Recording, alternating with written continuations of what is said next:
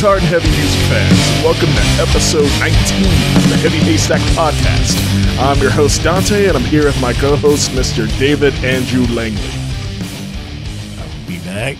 We, we back. Are we back? I, I would say don't call it a comeback, but after 10 months, this is most definitely a comeback. Yeah, it's something for sure. Yeah, like, I, I counted from the last episode. It was fucking October of last And year. Even longer for me. Yeah, like I did like one, One episode with some other jokers, and it went fucking terrible. It was the most listened to episode ever had, but that was more so due to the topic of the time than any of their input. To be honest, I, I I listened to it a little bit. I won't talk bad about it. I'll talk bad about it. it was Fucking like I thought, like okay, I've watched paint dry before. because like I, I did it with my coworkers. I don't know if they'll even listen to this. It'll be I'll tell them later. It'll be kind of funny. but like with uh, two of my coworkers, uh, Cyrus and Josh, and uh, I thought Cyrus knew about metal, but he's more of a straight up punk guy. And fucking Josh, he knows about the popular metal stuff, but not as much as needed for this type of Well, podcast. sometimes you get people on uh on microphones or whatever, and they're they're like, uh, yeah, they, they, there's there's surprisingly there is an art to this to the to the gab. uh, yeah, uh, the art of bullshit. Yeah, like uh, I got a PhD in bullshit. there were so many tangents. Especially Cyrus is the worst one because he was he went on so many tangents during that fucking episode. He went on like a five minute tangent about like staying in a house in Las Vegas or something that Blink One Eighty Two stayed in once, and there's something about ostriches. I don't fucking remember. and that should be entertaining, but It should have been entertaining, but it wound up being like, where was that story going, bro? Where was that going? Uh, but anyway, uh, welcome back to the Heavy Haystack podcast. We are back after a long, long hiatus. Uh, rule of thumb: if you have a podcast, don't s- wait ten months after your most popular episode to do another one, because that's not usually how you get uh, momentum rolling, like with this type of stuff. Uh, but we're back, uh, trying a new format, which is basically like the old format, just not talking about every single little thing that happens every week. And uh, on a personal note, I just don't want to be as hateful as Yeah, like I uh, historically have been. for those who I know negativity sells, but goddamn, dude, uh, David's gone through a he's he's Mr. Positivity now. trying to be. Mr. Positivity. But yeah, this uh, we picked a good week to come back, I'd say, because there is a lot of uh, cool, interesting stuff. I was gonna say I wasn't even supposed to come back, and then all the cool, interesting stuff happened. I was like, well, hey, you want to do that thing we used to do? Yeah, I was about to try to do this solo and just make this extra boring of just like me yapping on the fucking microphone. But like in certain time when I was actually trying to do one, David said, "Hey, I feel like doing the podcast talkie thing again." I'll say with multiple layers of my childhood fucking put out good tunes and tours get announced, you're like, oh, all right, all right, all right. I got, I got the positive things to talk about. Positivity. We're starting this, bringing this back on a good note. I'll still find a way to shit on something. Oh, there's gonna be. There, there's always some. Like this is the one positive, so then it's back to shitting on everything. uh, but uh, for everybody here in the metal world, uh, the story that you all probably already heard a million times over by this point, uh, you probably know about that whole uh, certain Paris Olympics opening ceremony. Satan. Satan. Oh no. Satan think and- about the children, please. the band that talks about saving the earth is gonna fucking rapture us all. uh, the hilarious irony of like people calling the opening performance, well, at least the at least the Gojira part of the opening performance, satanic, is so hilarious. If you know I- who Gojira is, There's so much misguided fucking the entire Olympics like ceremony thing has just been a fucking absolute shit show of media. I've been loving the meme stuff from it. The memes have been fire. Fucking, we got like the positive is like Gojira being awesome at the Olympic ceremony. There's been fucking like the Turkish shooter guy. This has been a pretty fun meme going around. Uh, the guy like losing the pole vault because his dick's too damn big. Because the French pole vaulter. I saw that. I'm like, like you failed spectacularly in the best way possible. All I know is I didn't think badminton could look badass. I was at work the other night and fucking these it was China versus Korea. Go figure, badminton, and fucking of course, they're the ones best at badminton. Dude, China, the, the Chinese do not fuck with the Chinese at badminton. they were fucking destroying Korea, and that was for the gold medal, and they just fucking ran through their ass. Yeah, like China's good at like it's that and ping pong. For some reason, those like their two sports they're like fucking dope at. And America sucks at shooting. Shit. Well, okay. Apparently, like we suck at stationary shooting, but if it's a moving target, skeet shooting, we do. We got the gold net. Oh, did we? We got a golden skeet shooting with shotguns. we got like triple platinum in school shooting. yeah, like that was the running joke. Like, hey, if this, uh, if this, if the Americans would have won, if the, the setup was in a school, and I know we're getting away from the Gojira thing a little bit, but like, there's another like. All right, so the outrage in the in the first place is absurd, but like, I think we as artists and progressive people also got to realize that sometimes outrage is the best thing that can happen for us. oh yeah, And I think we lose sight of that a lot of times. If you look retrospectively throughout history, anytime art is massively criticized, and I'm talking about the entire ceremony, because it, it, it covered a lot of bases. Oh, It yeah. was, uh, you know, like I said, the people, is that the Last Supper? ta- yeah, and just coming off way fucking crazy. But it's just like those misinterpretations and those, uh, that conversation happening, even though it's rooted in a lot of negativity. Uh, I think us as artists should also relish in the fact that the conversation's happening around art and art that you know, fuck, it's relevant. You know, it's I can't I can't believe that my favorite band since high school that I saw open up for Lamb of God Machine Head play 25 minutes is now big enough to play the highest rated French television program in history and literally their fucking Spotify goes up 50% with not even a new release. Oh, yeah, yeah. yeah. They don't have any music, but like it literally had a 50% jump after I saw a Loudwire article that actually stated what it was and what it became. Yeah, like I was like actually just even before that article, I was checking the numbers myself because I was like, how let, let's see how much this like buzz is like helping Gojira's numbers, and like it's about, I think the highest I've seen Gojira's numbers before was like during when Fortitude first came out. I think it was around a little over two million at the time. And they got pretty close to three, didn't they? Uh, most likely, they probably got close. I think to it was like 2.9 or something when I was looking at it, but I'm I might be wrong. yeah, I know. Like uh, I think they said it was 2.8 million recently with the Olympic buzz and all that around. It was 1.8 before and jumped up to, or was like 1.7, 1.8 and jumped up to 2.8, Yeah. which is for any metal band is fucking huge numbers. Well, when you're that level of band and it's a 50, almost no, damn near a 50% increase of fucking listenership, that's insane. Yeah, that is huge, especially for a band like Gojira that is that heavy. And like, I mean, like, given they're accessible by general metal standards, but by mainstream standards, they're pretty friggin' heavy. They were blast beaten. There was, I mean, they're still Screaming. they're still about mainstream standards of death metal band, yeah, like, but they're- like they're you know yeah they're not. No, But like we played Nashville last week, and somebody thought we were a death metal band. Which I is, mean we we're like one one tenth death metal Cherokee or something. like we we were just under the amount to be able to go to college. For we got I say we got maybe like three riffs and my vocals. you yeah, know. that's about it. I, and I started doing a little death growly here and there, but we're death metal inspired more so than death metal actual. I mean, that's why we can talk about the entire genre on a podcast like this because we pretty much try to, in my opinion, en- encompass as much of it as possible. We try to ape a lot of things. we try to take a lot of influence. Uh, but with this performance, uh, like fun details about this, uh, Gojira performed the 19th century French anthem "Ah Cara Ira." Ka- wait, fuck. "A Ka." A- this is hard to say. You're welcome. Well, Ah, you, whatever, because I wasn't going to be able to say any of that. Yeah, like it's Ah Kaara." It's uh, come in Ra, yeah. "A Kaara" or "Ira." I'm just ruining this, but it, there's that song, uh, which is a uh, a rendition, a metal rendition of it, which is an old like French Revolutionary era song, uh, which is basically uh, just it's essentially the way th- there's been a couple iterations of the song. It was originally just a patriotic French song, and then around the time of the French Revolution, it turned into "fuck these aristocrats, we're gonna cut their heads off." It, it specifically talks about hanging aristocrats, is what the song's about, yeah. which is pretty History. fucking metal. Goddamn history. Goddamn history. Well, that's that's the thing that's baffled me this entire time, and I think part of it might be rooted in just like how Americans feel about the French, anyways. yeah. Because we have all- for for as long as I can remember before I even remotely understood it. And I can't say I overly understand it, like whatever, but people make fun jokes about French, the French all the time.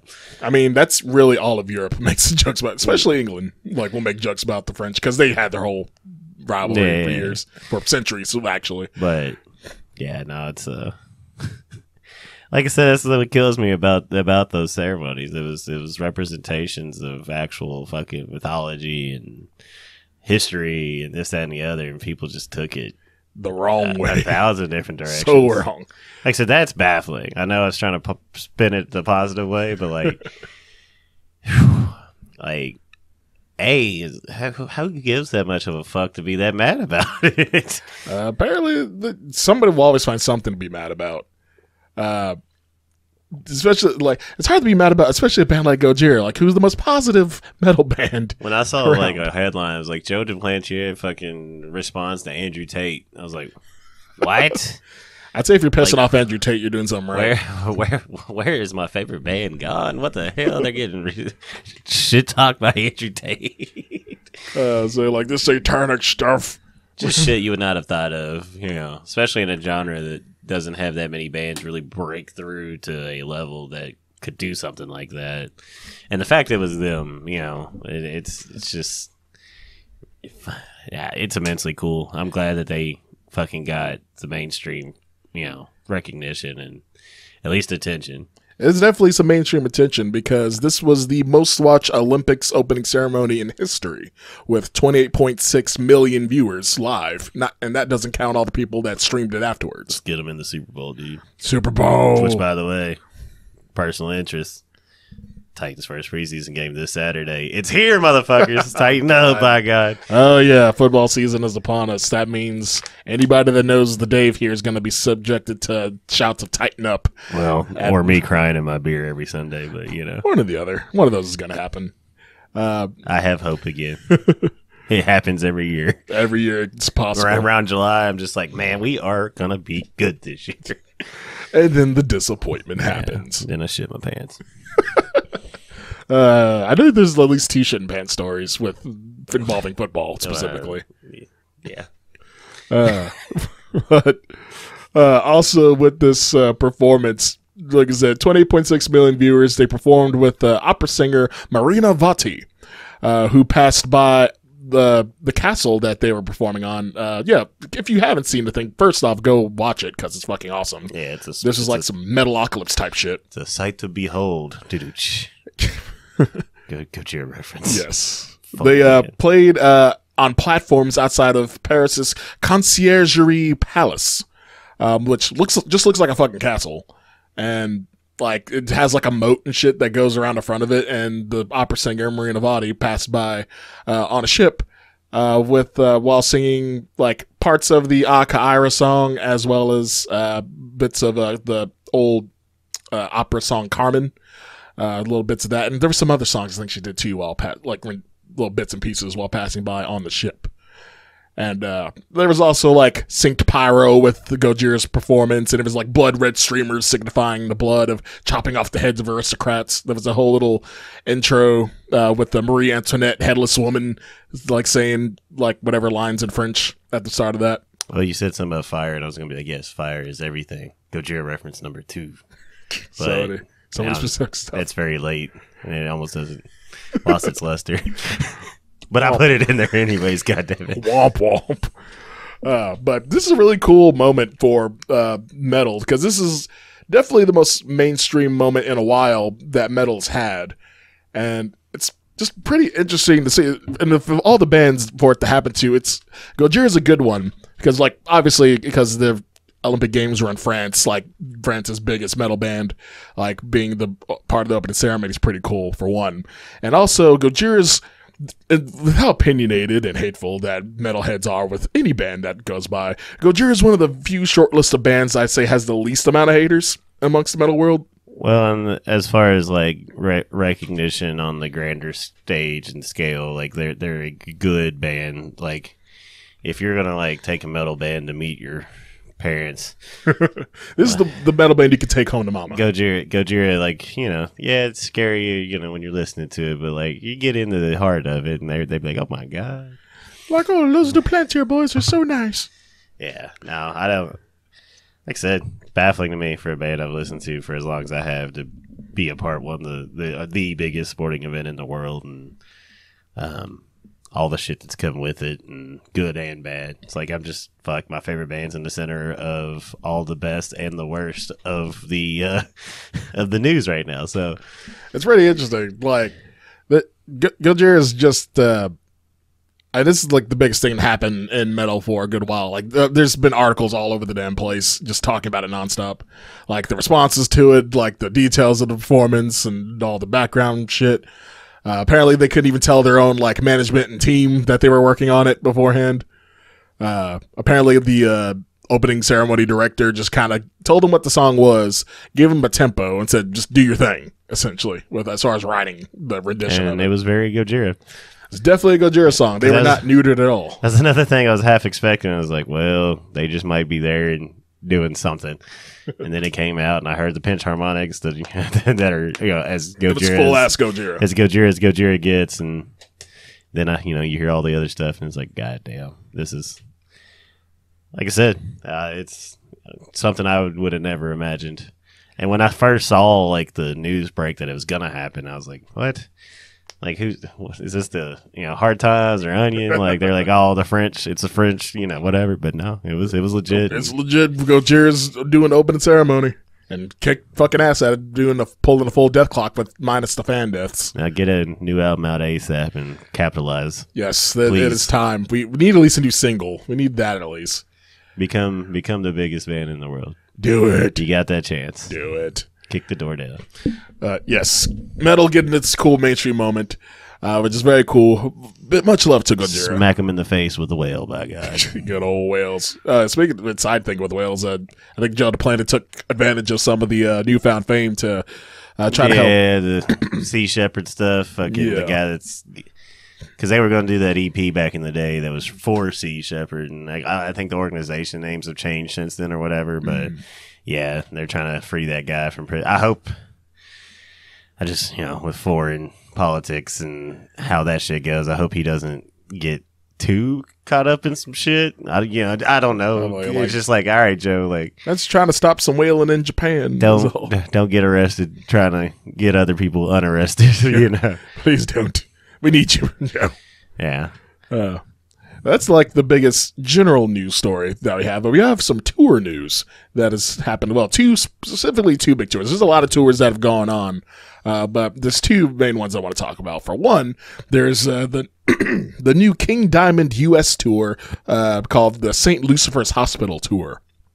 Uh, which I don't not I should have looked in more into this. I don't know if that's a song or if that's an I'm upcoming album. assuming that's probably going to be the motif of the stage show. It is the motif of the stage show for sure. I don't know what beyond that. I would assume that maybe something new's coming, but Yeah, so there was like one single that was set that was coming out for an upcoming album, but that was like six months ago or something like that. okay.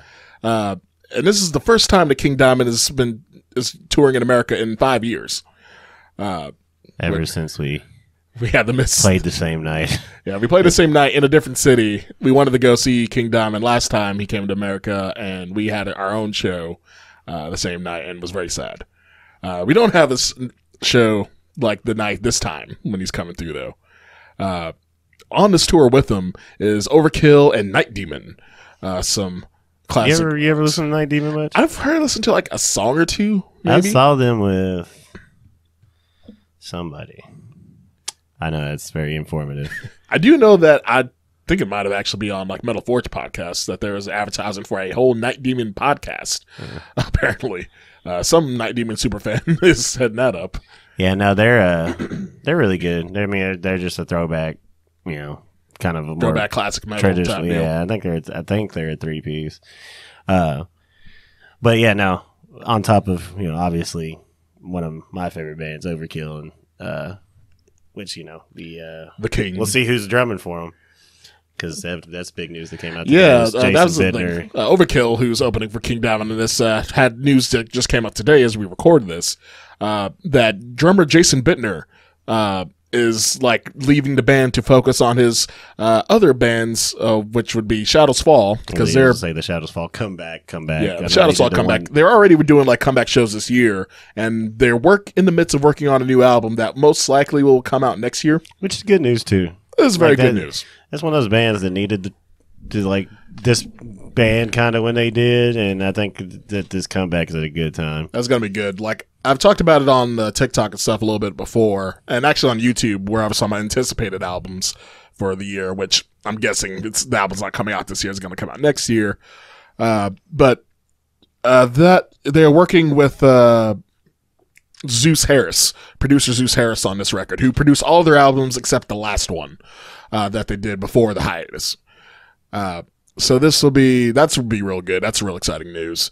And uh, also, Jason Bittner's focusing on his other new supergroup band that he's in called Category 7, which uh, features members from a number of different bands. But uh, the one, one I noticed the member the most is uh, John Bush from Armored Saint and former Anthrax uh, fame, is the singer for that group. That'd be fun then. Which I, they have a record out already. I just haven't gotten around to listening to it Okay, yet. okay.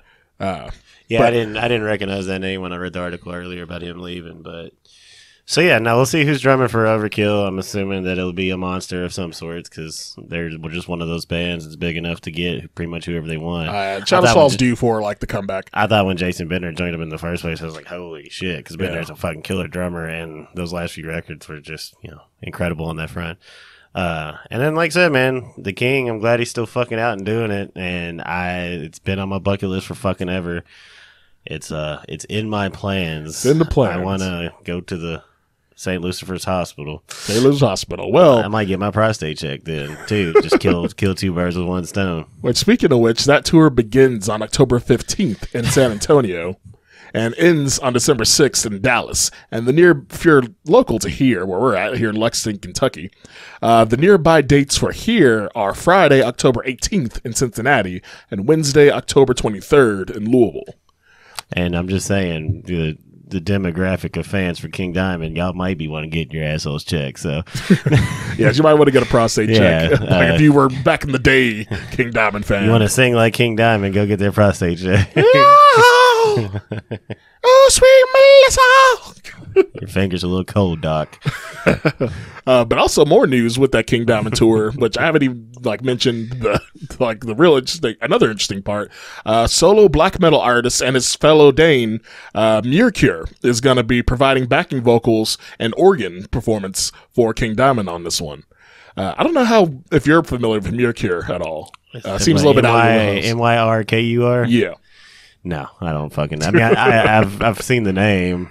Uh, well, like Myrkur's uh, been one of the most uh, notable experimental black metal acts of like the past uh, decade or so. As I was gonna say, let me poo poo on one thing. I guess now is black metal's not generally my favorite. Well, the thing is that with her, it's like uh, she's oh, it's a she. yeah, it's a woman. Okay. Smearker is the woman. it's just a, a project. Uh, and the thing with it, like she started off like she's had an interesting career. She started off as like a Swedish like pop, dance pop indie pop artist, uh, then transitioned into doing black metal. Got a bunch of hate from the black metal chuds because black metal chuds. pretty much. Uh, but she, the records she's put out, she's put out I think three or four so far. Uh, all of them received critical acclaim. I remember her, uh, whatever breakthrough record hers that came out. I was a big fan of. That's what was around the time I was first really getting into black metal. Yeah. And of course, the black metal I got into was all the experimental stuff that's not quote unquote true black metal. Speaking of, uh, and just because we haven't done a podcast in a while, Mm. and this came out last month, and I know it's one of your favorite uh, contemporary bands. That New Zeal and Ardor uh, EP, Yes, fucking phenomenal. fucking I've yes. I've always liked like kind of what they did, but I think the production and everything just kind of came together on that EP. Like I don't know, for whatever reason, it grabbed me a lot harder because I, I even went back and tried to listen to like the Zeal and Ardor album Mm. uh, after that, and I was like, yeah, it's not quite hitting it for me as good. But yeah, for something that's only like 13 minutes long, I was like, damn. I, So they're supposed to have a full album come out. I think. yeah, I don't know. Like I said, I, I just wanted to make note of that. That's something uh, new that I actually Uh, like. that's saw. also under the experimental black metal Yeah. category, which last two blackened anything is better than just Just well, straight black black. I was, uh, you know, let's we're talking about metal here. Uh, Zeal and Ardor, like their last two records are my favorite of each year that came out. Strange Fruit and the self-titled, uh, and also their first record that came out uh, was my th- number three or two or three record of that year. So they've been one of my favorite bands easily of the past few years since they came out. Uh, and Myrkur I've liked as well. She released an album last year, which was uh, pretty pretty good. Uh, I didn't give it enough listens to really give a good critique of it, but it's just interesting to have her working with King Diamond of all people. Uh, that's like a big, huge thing for her um, to like get that type of recognition, given she's not performing her own solo material. and he it. ain't fucking around with no slouches. So Oh yeah, is definitely no slouch. Uh, yeah, but that's just really cool. You get a that's a nice variety of lineup. yeah, that there. lineup's fucking insane.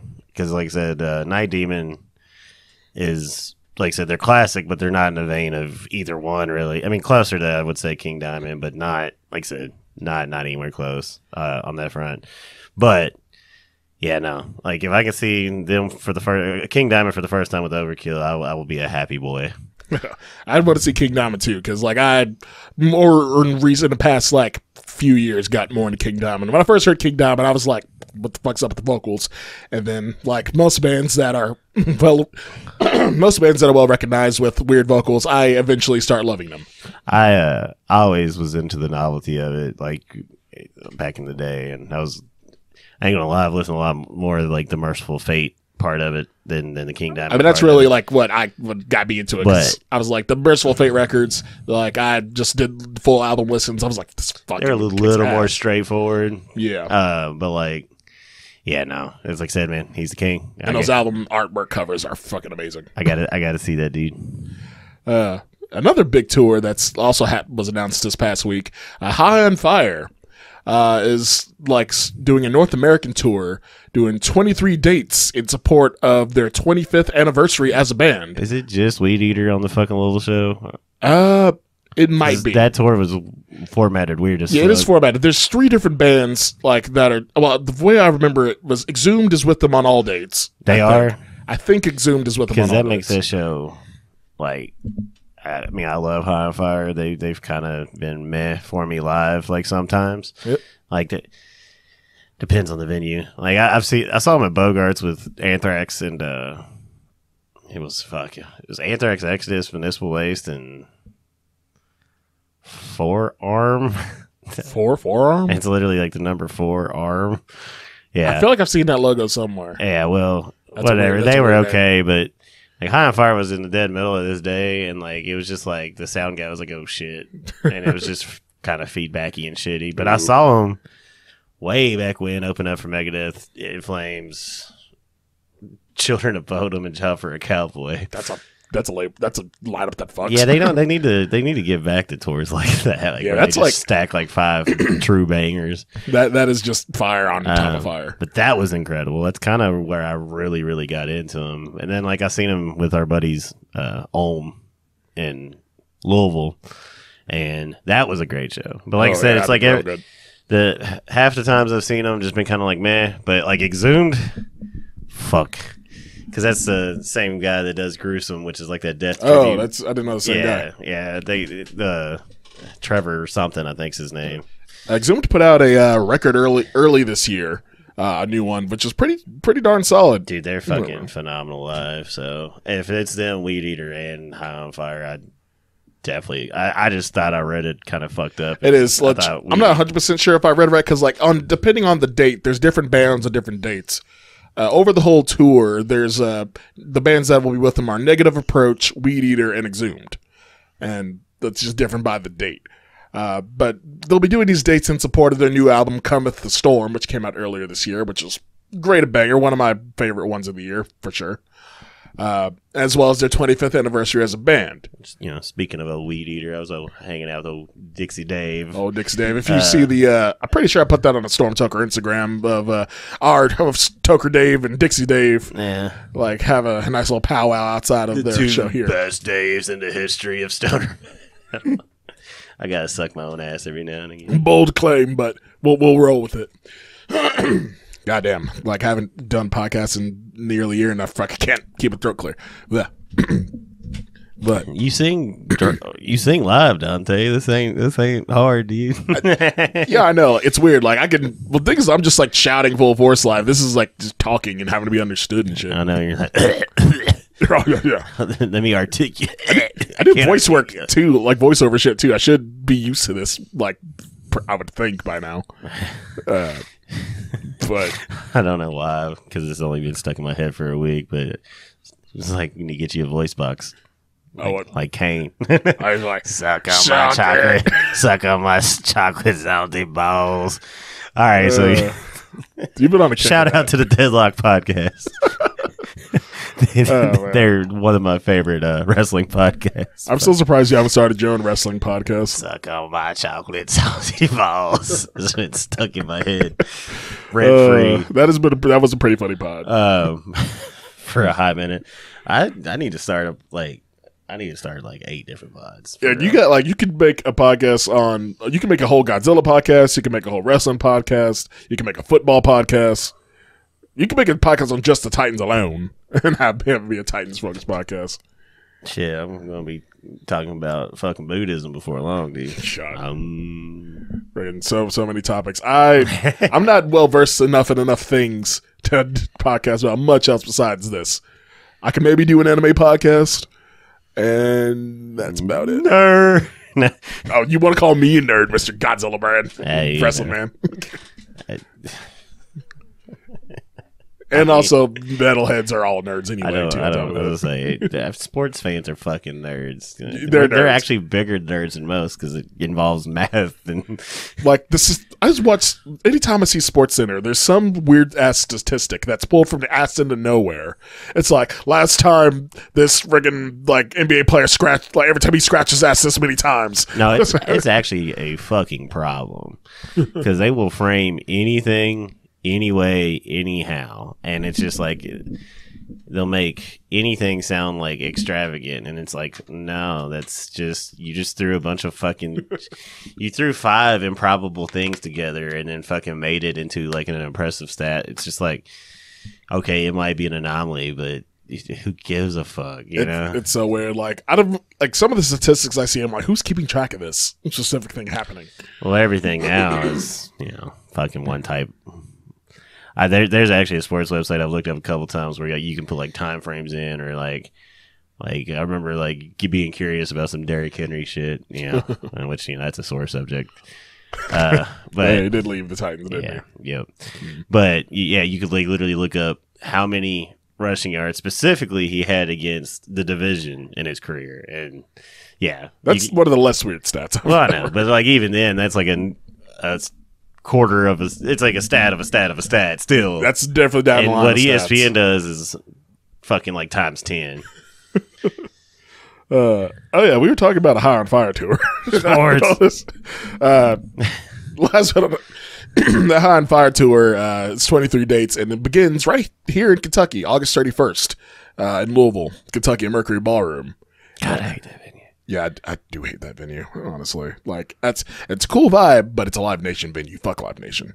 Fucking tickets too expensive. The drinks too expensive. Blah. Fuck most ticketing websites. Yeah. But uh, and it'll be end on November second in Mexico City. Arriba. Uh, I don't know if any of my Mexican listeners are listening to this, but if you are, you should go see Hot on Fire. You're Oh, probably yeah. already going to see Hot on Fire because you're a metalhead in Mexico. You're already fucking going. We got a thousand and ten fucking dudes in Mexico. I'm sure. Yeah, it's so so many. Uh, but that's all the tour news for right now. There's so, like a pirate somewhere in the fucking Gulf that's just like, oh, we got the signal. We got the heavy haystack. Fuck. we got the Heavy haystack podcast. They're listening to this like ahoy pirates. All right, let's fucking torture these prisoners with their voices. uh, like hope they're keeping the the the people entertained on the ship of whatever they're at in the Caribbean. Or All my yo ho hos. But mama, yo ho hos, Jesus Christ, ah, we're funny. I'm not. I just be saying shit. Uh, well, that's all the general news you have. So, but there's also a lot of new singles that came out this week uh, from a lot of notable bands. Like usually, this period of the year tends to be a kind of a light period because it's like after the summer Like it's the summer people already like had their releases earlier and they're touring on those. Uh, the fall stuff are just now starting to get announced, and this is about the time here near in August is when everyone's all the bigger bands are gearing up for the big releases. Uh, and this past week, one of the biggest releases that we've had uh, that's a, a comeback of sorts is uh, the new Opeth uh, song, which I'm not sure how what that symbol is. I've been calling it S1, but that's not an S. It looks like a curly snake looking symbol or some shit. It's the devil, Satan. He's back again. I, I, tried googling it too. I couldn't find anything on Reddit or anywhere that says how do you pronounce the new Opeth single. Yeah, and no one had anything no way to say it. So like I for real in like the last like two or three months, like was checking to see if Opeth was like still doing anything hmm. because I hadn't heard anything in so goddamn long. I think they're what the last album's 18. It's pre-pandemic, so yeah, I think so. And uh, yeah, no, and I'd seen them multiple times. I mean, they've just been a band that's been around my my radar for fucking ever. And I just like said, I hadn't heard a goddamn thing. So funny enough, I had like, oops, uh, knocking shit over, but yeah. I, I had uh, looked up, and they had just announced the North American tour. Mm. Um, like when I looked them up, and I was like, "All right, cool. At least they're not like They're de- defunct." Because, like I said, I just for whatever reason had not heard anything, and then this song came out, and I was like, "Holy hell!"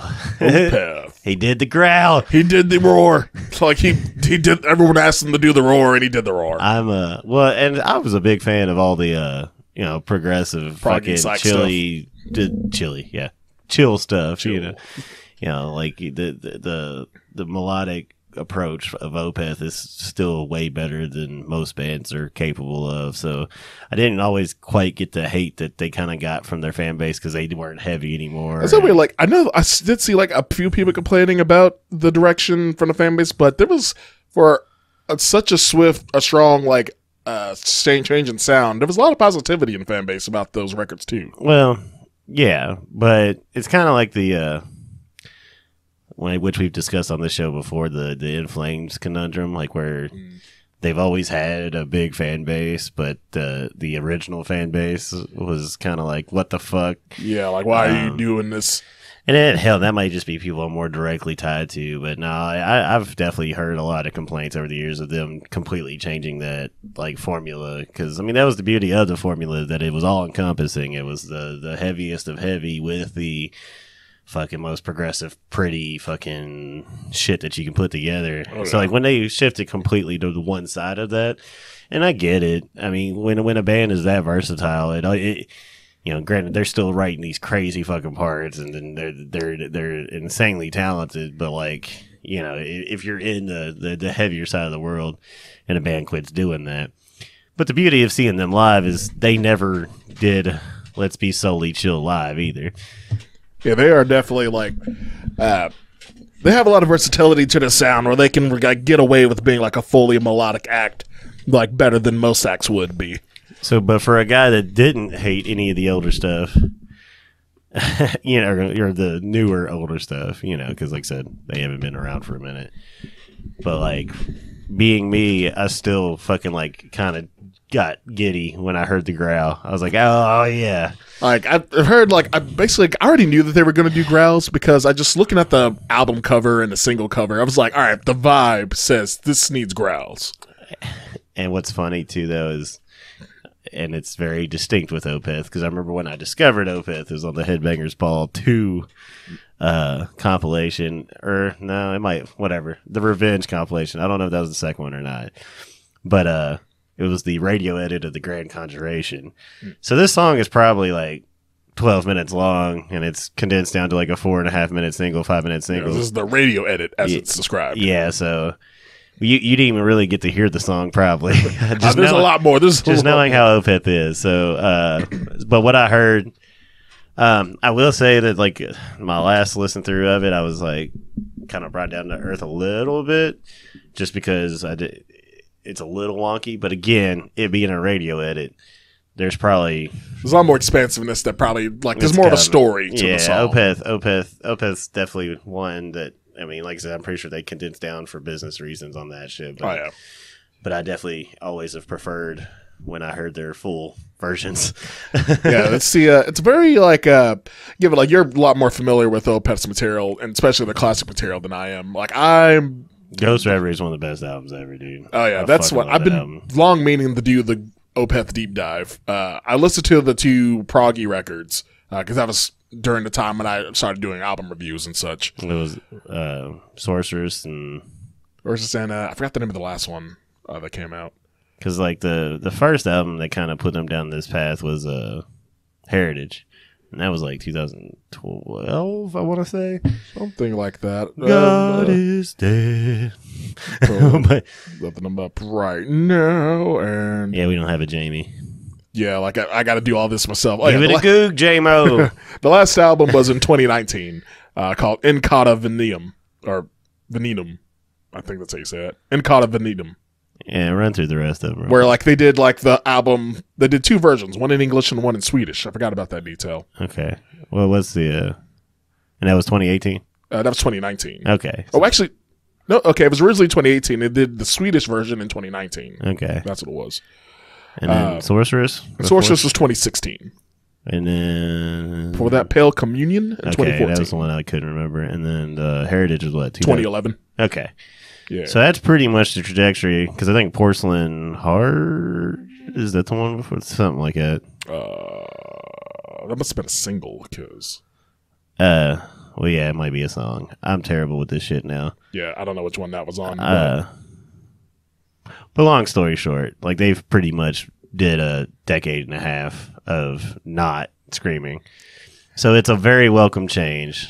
yes it's, uh, it's time to bring back the growls do the growls and it's a return to form. Like I said, I, I, I think the I think the single version uh, is not going to be what that song actually is, and that's what I'm looking forward to now is hearing that song in its full glory. in the proper album version Because it's like, yeah, they, th- it, it's just structured weird for for a single. Like, Yeah, it's especially for a prog band. Like I'm, it's I'm glad it sounds as coherent as it does, Yeah. uh, being a cut down version of the original Vision. Uh, but it is like a really good song. I do like the it's. I mean, it's it's got yes, me excited. It's a prog metal song, but it is.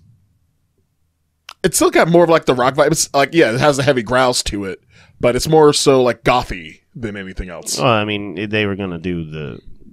They evolved past what they were before when they were doing the death, you know, growls. So Yeah, it, it's going to be a combination of all that. Like I said, I'm looking forward to it. it it's like I said, I, I think it, the the gimmick of switching over and not having the death growls was getting a little tiresome for me.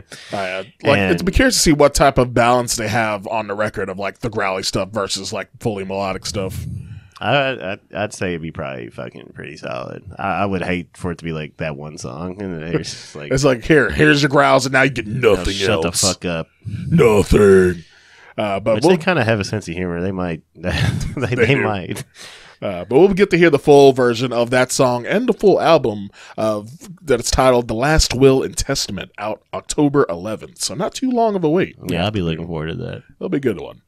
Uh, next up, and uh, have a one of the most notable supergroups. That's a whole lot of them been popping up recently in recent years. Uh, the supergroup Better Lovers, uh, which is made up of members, former members of Dillinger Escape Plan, Every Time I Die, and Fit for an Autopsy. With their uh, new single titled "A White Horse Covered in Blood." Uh, which is the first single from their upcoming album "Highly Irresponsible" that's coming October 25th uh, the band's like released like a few. Of course, they had their uh, like "God Made Me an Animal" EP last year. Uh, that was released to a whole lot of critical acclaim, especially with the uh, lead single uh, from that one, which title I forget. Uh, but th- they came out swinging, essentially. Like it, it was everyone like was wondering like what when they first announced it, they were wondering like what this band's gonna sound like for one. Uh, and it's really it's the, the guitar work. It has the guitarist, drummer, and bassist from Every Time I Die. So overall, sound wise, Better Yes. Lovers has like a lot of that sound That to it. vibe, yeah. That like upbeat. It's basically that really like techie hardcore, but with like a strong punk edge, a little bit of southern rock Yeah, it's flavor. like hype. Yeah, like I actually enjoyed the fuck out of that song. Uh, it wasn't gonna. It wasn't my favorite thing in the world by any stretch of imagination, and I might just be rose-colored glasses because all the other singles that came out and Uh, 30 under 13. That was that first single that came out theirs last year. they uh yeah no I, i've gotten a little more on the, the core front as i've gotten older which is weird. You Yeah, know, like who knew? to be- David Andrew Langley, a core supposed, fan? you're supposed to be into that shit when you're a kid and fucking love that shit your entire life but I guess, I guess I just as I get older it's just the the the, the, the fashion part of it kind of went out the window and it's more just here's stupid f- dumb fun music you know but like so they have a lot more going on than your typical core band too for sure as you were saying, Oh, they do. Like, I mean, uh, these are people from like some of the most critically acclaimed like bands of like the past twenty years. yeah Because, like, of course, you have Greg Puciato on vocals from Dillinger Escape Plan, who's considered what, besides them being considered one of the best bands of the past 20 years, they're also, like, Greg Puciato himself is considered one of the most unique vocalists of, like, the past 20 years as well. I was like, this was like one of the first times you sent me the list, and I'd listened to like three quarters of the singles already, and this was I wasn't necessarily like looking forward to listening to this one, yeah. but no, it's pretty fucking hype, man. It, it like I said, it, it, it was a fun, fun little song. Oh, yeah. It has, like, the song itself is, like, pretty high energy. Like, I've liked pretty much everything they've put out so far. Uh, they did release a single, uh, like, a little, a while back, uh, earlier this year called The Flowering. uh, which I was just kind of like okay on. Like at that one, like it was kind of like their they had their Sabbath sound, which is kind of like the like every time I die ish stuff with Greg Puciato vocals. But they are starting. I feel like with this single, they're starting to kind of make their own sound because you can tell just from like the album cover, which I don't know if you really noticed that with the whole exploding fucking party. Like Shit, I don't even think if I, I don't even think I looked at, at the album cover, but that's Yeah. pretty cool. the whole vibe with like in the music video I just watched like before David got over here, uh, they're definitely going for a fun vibe with a lot of their stuff. Like the music video was super colorful, it has a strong punk leaning energy, Yeah, uh, super hype. It has like really catchy refrains and choruses like to this one. Uh, maybe as I've gotten older, I just embrace fun. yes, it's okay to have fun sometimes. Uh, and, like it's it's really like, Art is pain, Donte. Existence is misery. Yeah, like sometimes you can be like loud, aggressive music, but also have like some smiles and chuckles with it. Uh, interesting with this one is like, uh, with this upcoming album, they released like a few standalone singles before this that weren't on the God Made Me an Animal EP from last year, and you'd assume that with those singles they'd roll them into this upcoming album, but this whole al- new album is all new songs. Uh, so besides, this is the first taste of the new album. All the previous singles that we had, like the flowering and uh, some of the other singles that they like put out, uh, are not going to be on this one. Those are just standalone singles uh, that they had because they had the Two Alive Amongst the Dead" song. They had uh, the flowering. They had, uh, I think, I think that was it. Yeah, I guess that Suck was. my chocolate salty balls. I, I don't believe that was them on that one. I think that was old Chef from the classic South Park days. Suck on my chocolate salty balls. Uh, but yeah, this song was like really fun. I'm just like, like I was a bit iffy on, on the last one, the flowering, but I was thinking like, okay, maybe they're starting to lose their luster a bit. But this one, I'm back in the fold. I'm back in the Better Lovers fold. I'm like, okay, I'm hyped for this album. It's gonna be great. Well, and supergroups always have uh, uphill battle at first Oh yeah, because everybody's just going to be like, well, it, it, it reminds there's expectations. yeah, and it, you're always going to be thinking about the other shit. Um, and and so it's it, it almost takes like a couple albums if you can make it last. Because that's the other thing with supergroups; they typically don't last very long. not very. So like this is like a whole new band. Like all the bands except well, well, Fit for an Autopsy is still going, but like Dillinger Escape Plan, Greg is out of that band. They're doing reunion tours, but with like the very first album pre Greg lineup. Uh, and every time I die is like dead, dead. Because you got Jordan Buckley along with the bassist and drummer uh, doing Better Lovers now full time, and of course uh, uh, Keith Buckley, uh, the singer, has his own band, Many Eyes, that he's doing now. Uh, and then you have uh, Fit for an Autopsy, uh, freaking dude, uh, the guitarist, whose name freaking escapes me. I should have Jimmy down. Crackhorn, It's definitely not Jimmy Crackhorn. Uh, Isaac Hayes. but it's the guitarist slash producer from uh, fucking Will Putney. That's his fucking name. there you go. Uh, Will Putney from Fit for an Autopsy. He was the guitarist and producer, and one of the most notable producers of like metal, recent metal times. He's the guy that brought Body Count back and made them popular again. Uh, along with like being a producer for many other metalcore, hardcore, and just metal in general bands.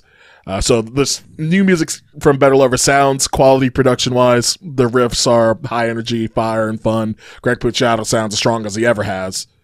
And this is just like a whole lot of hype and energy. That's I'm excited to hear the rest of this album. Might be one of my favorites of this year potentially. It's definitely on my most anticipated list for sure. Yeah, we'll see. I'll listen to it maybe. Let's do it, baby. I'll make your ass listen to it. Uh, well, here's a band that you're definitely not more familiar with Arch Enemy, uh, with their new single uh, titled Dream Stealer. Uh, there's no album announcement attached to this one, but uh, their last music came out on their Deceivers album that came out in 2022. Uh, for me personally, like, of course, like with the recent trajectory of Arch Enemy, uh, of course, they had the singer switch with Alissa White-Gluz taking over for Angela Gossow uh, back on the War Eternal record back in 2012. Was it that been that long? It's been a long time. Yeah, that was 2012 when War Eternal come out. Uh, and that record was excellent in my eyes, and a lot of other people thought it was excellent. The single uh, War Eternal is still their most popular song on Spotify, like so far. Nah.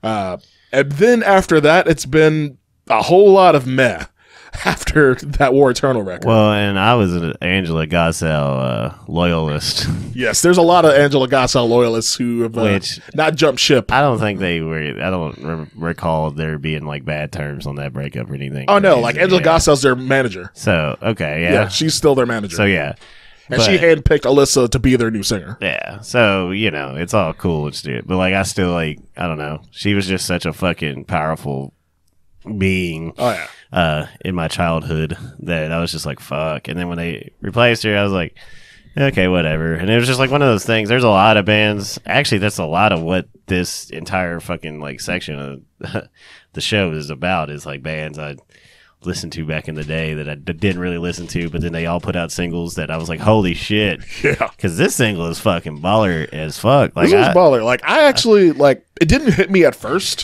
when I first listened to this one. Uh, I think it might have just been because I was just expecting more meh from Yeah. like Arch Enemy because I first started really listening to Arch Enemy on the Will to Power album in 2017, the second Alyssa record. Uh, like I, that was the first taste of it. I like the singles from it. The Eagle Flies Alone was a banger uh, from that record, uh, along with a few other ones. But it, overall, that record was kind of eh. Uh, I went backwards and listened to War Eternal. Love that record. And then her album that came out in 2022, Deceivers, was an improvement over Will to Power. So excuse my ignorance a little bit, but so like the the twinge of melodic vocal that's like in the uh, chorus Yeah. has that been a pretty much a staple since she's been in the band?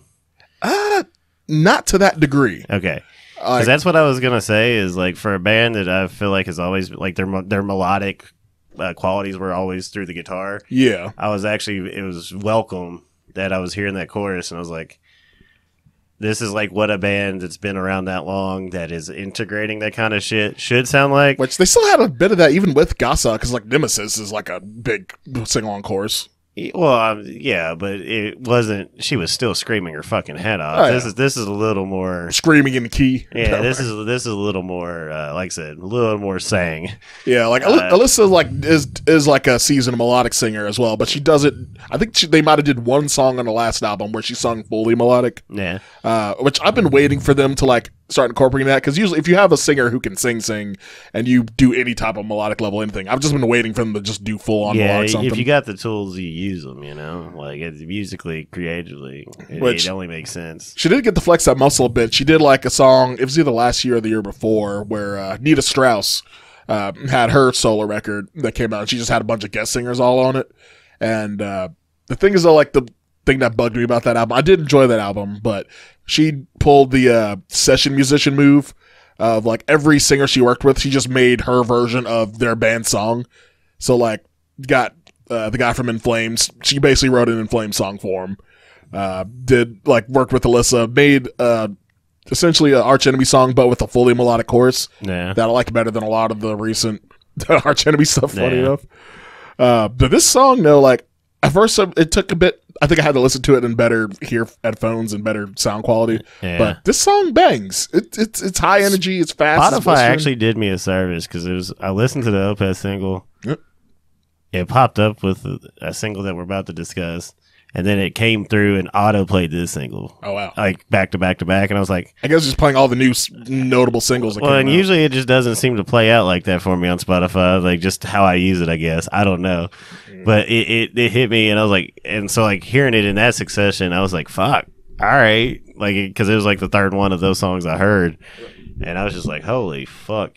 Um, Cause like there's like a little guitar thing in the beginning that's like straight up, it's like fucking classic like Slayer, but also classic Arch Enemy like vibe. I mean, it's just that jumpy fucking Arch Enemies is kind of like early Slayer, but like on steroids a little bit. yeah. Now, like I said, I, I actually highly enjoyed it. It actually kind of gave me a little fucking hope to kind of go back and actually give this chick a chance because I just, like I said, not a band I've ever disliked ever. I just when they switched vocalists, I just kind of checked out, Yeah, the- and this single just kind of happened to come across my radar at a time that I was feeling pretty good about music all of a sudden because, like I said, these first uh, Opeth did the roar. at, up the roar, Arch Enemy shredding again. Like So I was fuck like, all right, fuck yeah, let's uh, you know. So I, I might go back and actually give her her albums a chance. Uh, you got to give War Eternal a chance at least because that's her best work, like with the band. I just I came in on Angela Gossow, and I remember I was at Ozzfest, uh, and I hadn't heard Arch Enemy yet, and this little tiny blonde chick comes out and just. First thing I've ever heard like it, like I just hadn't heard a girl scream. I mean, that was like back when, like back in like her, like in the heyday of Angela Gossow, was her, was Otep, and Kittie, and that was about it. and that was the Doomsday Machine like tour, so like Nemesis and all that. So I mean, Oh, yeah, yeah. it was fucking my apocalypse and all that. Yeah, that that that, that set was crazy. They were definitely a standout uh, of that early Ozzfest day. For actually, there was a lot of standouts that day, but Uh, they're, they're really good. Like it's, Mastodon being on Leviathan and such too. oh yeah, that's that's a big one for Yeah, sure. it was fucking as I lay dying on the like their big one that had like the moon. Oh, the uh, ocean. That's not oceans between us. It's a uh, shadows are security. I think it's one Yeah. that's called. Yeah. uh, Killswitch was on the end of Heartache. Goddamn. I wish like I got into like going to live shows like earlier during that period because I was like listening to a lot of it, but I was like, Mudvayne was on Lost and Found. Fucking Shadows Fall was on uh, The War Within. this the whole thing Like- reminds me. I just need to do like uh, why 2004 was a great year for metal. Black Label Society was on Mafia, which was probably like the height of them. Yeah. Uh, I think that's still the biggest record.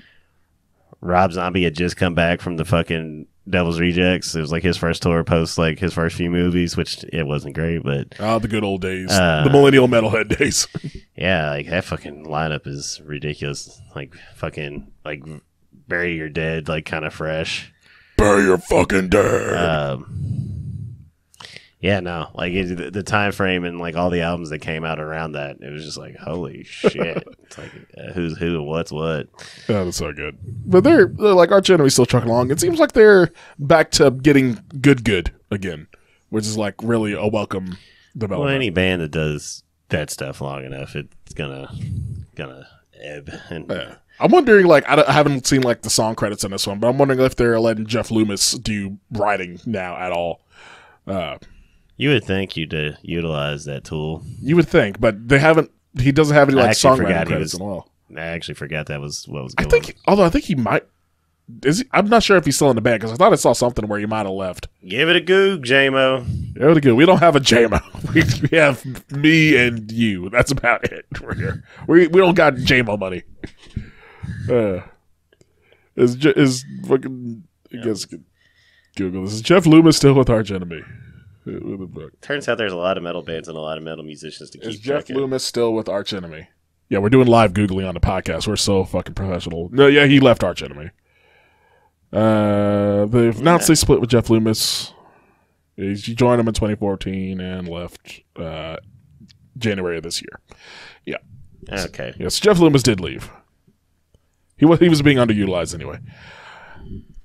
but they but funny enough, Jeff Loomis leaves and he put out their best single in fucking years. So that's kind of it's kind of weird.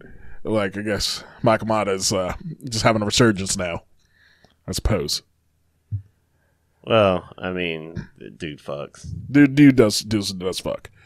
Uh, I feel like you should let Alissa do a little more writing though, because like let the English as a first language speaker speaks like writes more of the stuff of your in, in English songs.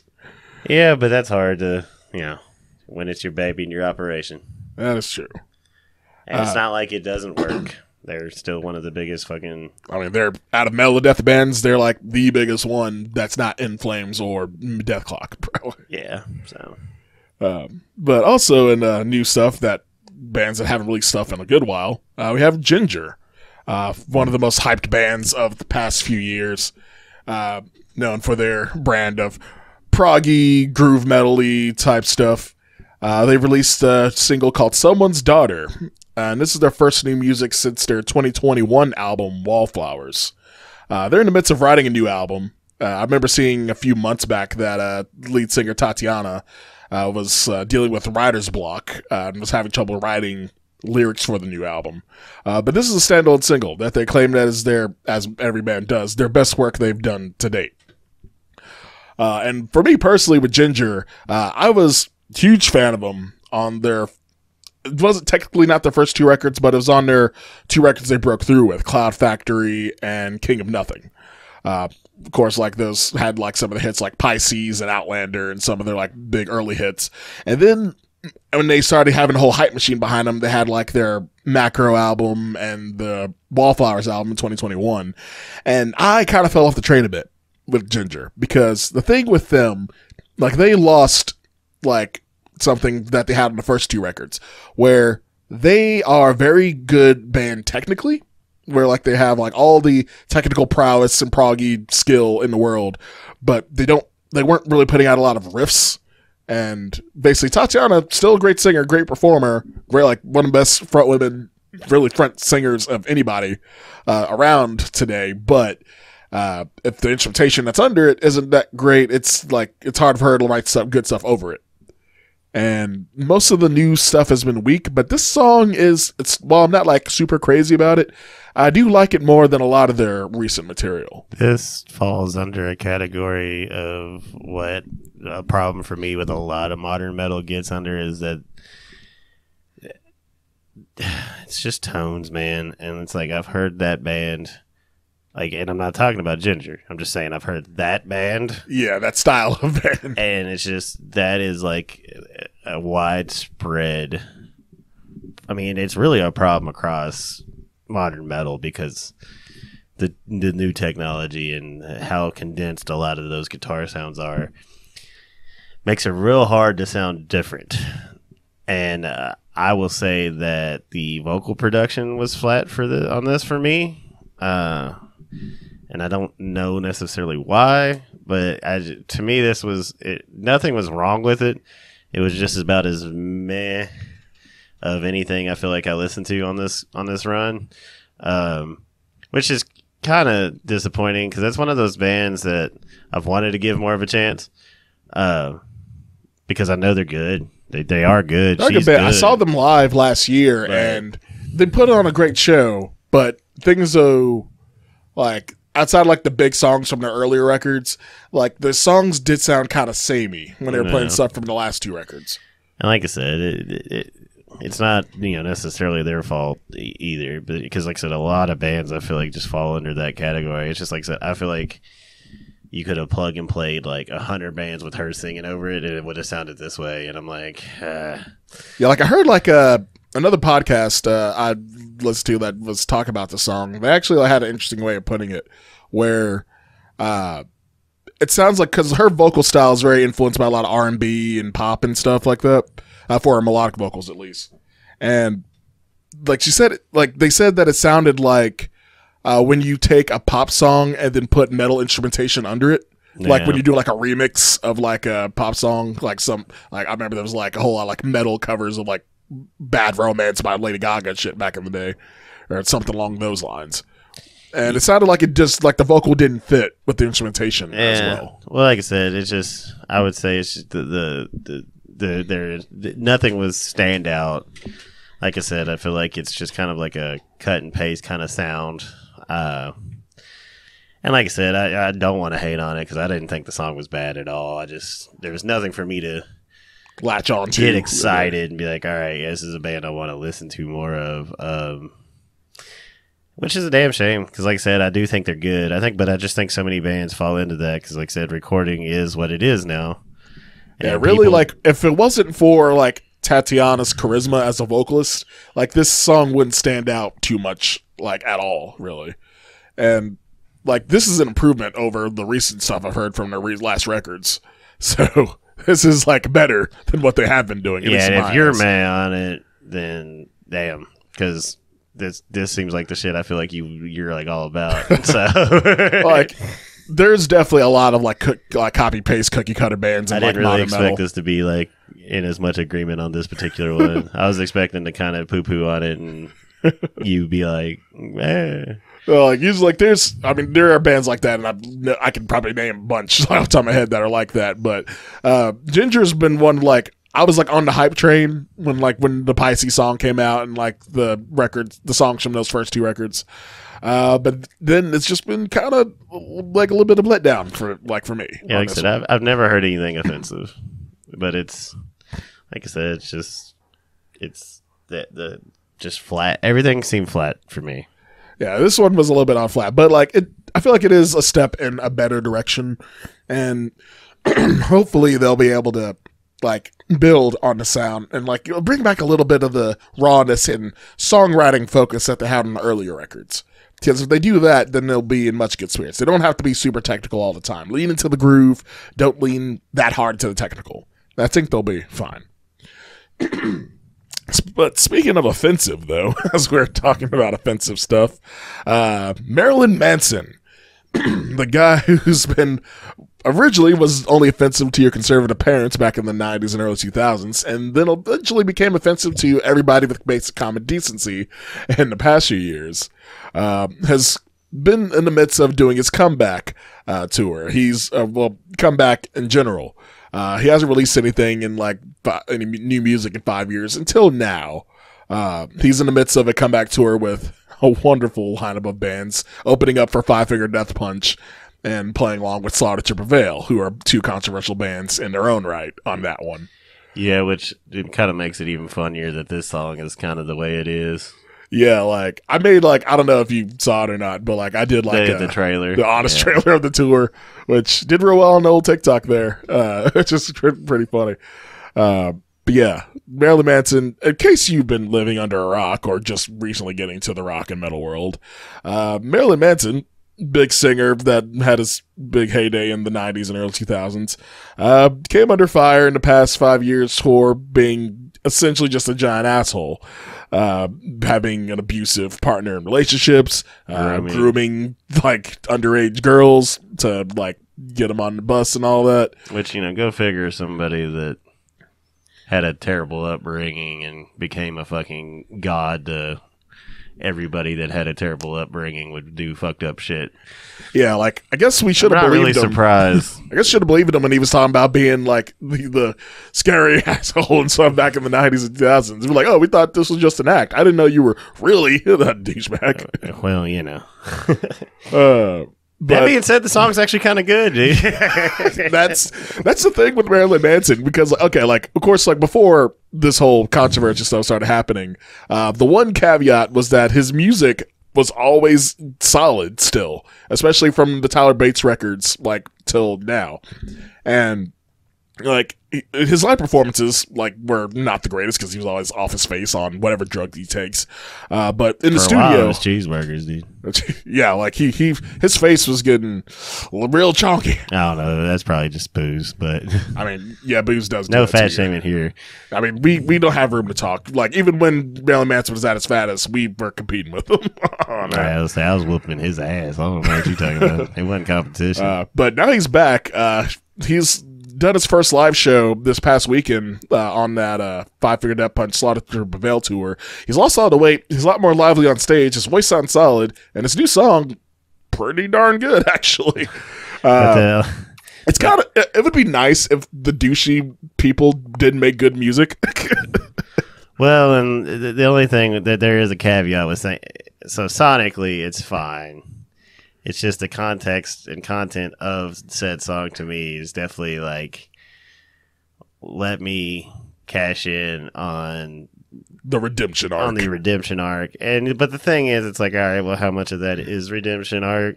yeah, it's like And he how- has a marketing team. He knows how to like. There, there's a there's a way. Which it's really hard to talk about redemption arc and then be like, yeah, we're on tour with Slaughter to Prevail and Yeah, like Five Finger Death Punch. I mean, given like if there's anybody who's gonna be like take out the like the red flag of Marilyn Manson, it's the two bands that are like yeah, Slaughter to Prevail, who's like on like the cancel list for a lot of people for uh, several reasons, like such as friggin' like apparently alleged homophobic statements, alleged transphobic statements, and confirmed former Nazi affiliations uh, for like Alex Terrible, the lead singer of that group. Then you have friggin' Five Finger Death Punch, where Ivan Moody was had restraining orders from his own family, uh, giant alcoholic, but he is currently six or seven years sober right now himself. yeah, but he uh, still very much so screams, if you don't like it, get the fuck out. Yeah, the, the, the- yeah. This I don't know. Like it's been a while since they did like a like you're a dumb motherfucker and a bad mother the, the motherfucker song, whatever song that was they did back in the day. It's ridiculous I, I've seen that band live way more times than I've ever intended on. because they're at every festival, especially louder than life or anything local to hear. And they only got more obnoxious with their fucking America shit Oh yeah, as they went, It's just But- like we're just going full America. Uh, which is you know whatever. But yeah, so like it, it, it- that's the thing. It's like I don't want to really fucking like give too many roses to said song. Sonically, it is fine. It's good. I actually was surprised because I don't give a rat's ass about Manson in the first place. yeah, like And I've- I got I got like three quarters of the way through. it. I was like, "Fuck!" I actually kind of like this song. yeah, this song. Uh, but like the context of the lyrics and just who he is and what he's doing right now it's just like you can't there's a percentage of me that just wants to go all right let's see if the dude becomes better because Yeah. no matter what i am kind of the guy that it's like we gotta allow people to become better yes, we have to allow a path to redemption. uh, It's just hard to believe it when you people don't have to love them anymore and you don't have to like it but at least allow them to get their path to what is better for them but yeah i just that, that that was the thing like i hated that i was liking it a little bit but like you know and to me there's always a little bit of disconnect with art and artists uh it's really when you look at any of our heroes from back in the day they were all kind of man children and Yeah, there's uh, they're not all the like bad people make good art a lot of the time. I said that on the John Bass podcast. It's like, dude, the people that are throwing TVs out hotel windows and fucking doing blow and just t- taking advantage of women and this, that, and the other, yada like, yada. Like, there's getting, getting with not, like definitely underage groupies. they're not mentally well fucking people. So, like, again, pretty much every band that you like from like the '60s forward, you have to take with a little bit of grain. Uh, like we, we we like this like rebellious music, and of course, the pe- a lot of the people that make that music are rebellious to not just like societal views and beliefs, but to our own beliefs. Sometimes, a lot of the time. So, like I said, yeah, I'll give him the space to to become better as far as just being open minded to the fact that he can be better. But very weird decisions with that tour, and like I said, the song is a little heavy handed. Yes. Uh, speaking of which, I haven't mentioned the name of the song yet. It's called "As Sick as the Secrets Within." Yeah, well, And- as, as I said, Yes, it's the first new hand music heavy. since his uh, 2020 album "We Are Chaos," which he did with Waylon Jennings as his main collaborator for that one. Uh, it's kind of like a chill, mid-tempo, post-rock, goth rocky song, um, and it's pretty darn solid, honestly. Uh, the Manson fans are eating it up, who like never like canceled him or had like a thought about uh saying a negative word towards him. There's Uh, entire people that base their entire fucking personality around that guy. Oh yeah. and that was- still kind of do. That was the introduction to goth culture for a lot of people back in our age group. Well, it was like the next generation of of you know the the Ozzys of the world, where it was just like, all right, yeah, this dude's crazy. Yes, the wild, rambunctious rock star, who was also well spoken in interviews and all that. It's, it- like he had an intellectual side to him, like back during that day, and even still does. Uh, oddly enough, uh, at least he's he's very well spoken, but he's also a big asshole and has done a lot of assholey things. Uh, smart, charismatic people do a lot of bad shit too. exactly. But the song itself, if like just talking about the art alone, pretty solid song, pretty solid comeback song. I like it more than a lot of the We Are Chaos material. Uh, but uh, who knows? Like, hopefully, the man of Marilyn Manson can match the quality of the music that he's putting out as well, and also improve. Yeah, right now it's yeah. right now we'll see. Uh, and also uh, connected to that, something that's uh, sad news on my personal front. Uh, Reba Meyers, uh, lead guitarist for uh, metalcore and alternative metal band Code Orange, uh, was seen as part of Marilyn Manson's live band uh, as his guitarist, one of his guitarists, uh, which not the greatest look. Reba, why are you? I know that paycheck is fat. I know that paycheck's probably good, and Dakota Orange just had a whole lot of setbacks in their recent history and touring and such, with like illnesses in the band you know, having to cancel tours and other stuff happening. But why Manson, man? Why'd you have to join up with Manson?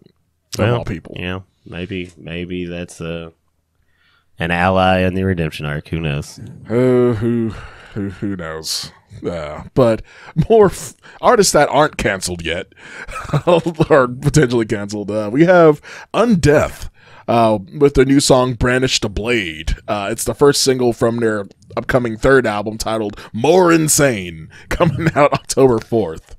Uh, Undeath. Uh, I don't, don't know if you're familiar with Undeath at all. I'm Uh, not, and I got about two thirds to this song. Fast forwarded a little bit. I was like, all right, that's going exactly how I thought it would. uh, so Uh, Undeath is one of the uh, more notable bands in what I've been calling the new wave of American death metal. Uh, they are a New York band but they're S- undeath, dude. Undeath from Syracuse. Uh, I think they're from Syracuse. They're from somewhere in New York. And like they're definitely one of the more notable bands of this new crop of death metal bands. And their whole shtick is that they like they kind of do the old school death metal thing, and they don't take themselves too seriously. No, Uh, if you look at their like some of their song titles and album titles, they are uh, th- their their stuff's kind of they're a little bit goofy with it. It's very tongue in cheek type stuff. Like their last album was called "It's Time to Rise." Dot dot dot from the dead. if you didn't, if you couldn't figure out, maybe. Oh yeah, and like they, they have a lot of good songs. Oh no, it's time to rise from the grave. That was it. That's I don't know if I said that right. Yeah, false news, Donte. False- You don't- It's time to rise from the grave. That was our last album in 2022. The new one's called uh, like more, like fucking fuck. Where's my notes? fucking more insane. Give it a goog, J-Mo. And this first song is titled "Brandish the Blade." Interesting thing compared with this song, uh, most notable thing with this song compared to their previous material, uh, they've always been a band that's been big on uh, the songwriting aspect, like not just trying to compile a nice, catchy uh, string of riffs together, uh, but have actual like s- coherent song structures, verses, choruses, have like something you can latch onto. And with this one, vocally, uh, the vocal range has been expanded to have a lot more highs, a lot more discernible vocals instead of the like toilet gurgle stuff they that most death metal bands do. And it definitely like adds to it highlights the songwriting aspect for Undeath. Uh, it makes it where like you can sing along to the songs now. You can like there's like a pre-breakdown call out, which big thing with the modern crop of death metal bands, a lot of hardcore influence uh, that's subtly like mixed in with the That's old school. pretty death much what all those new bands are. Yeah, it's, like- hardcore kids playing death metal that appeals to hardcore kids. A lot of obituary, bolt thrower, and entombed influence in there. Uh, which Undeath is definitely like one of the fun bands out of that crop. Uh, it's hard for me to pick a favorite out of like the new crop of uh, old school, new old school death metal bands, as people are calling it, which I fucking hate. Which is why I call it the new wave of American death metal. yeah, yeah, yeah, don't get me started on genres. Uh, I'd say that out of that crop, Frozen Soul is still my current favorite. Frozen Soul and Sanguisugabogg are also the two biggest ones out of that crop. Uh, but there's also the next like tier bands like that, like your Undeaths, your 200 Stab Wounds, uh, your I just want Devin Swank to beat the shell of Ronnie Radke. Goddamn. uh, fuck yeah, I want that. To I know that's happen. like new- I wish we were podcasting when that such, was such happening. old news at this point, but goddamn it. That is like old. I saw people still commenting about that on like Radke and It's like, Sanguisugabogg. God damn it, please don't just I just want to see the big old Ohio gorilla beat up that freaking like Vegas dude.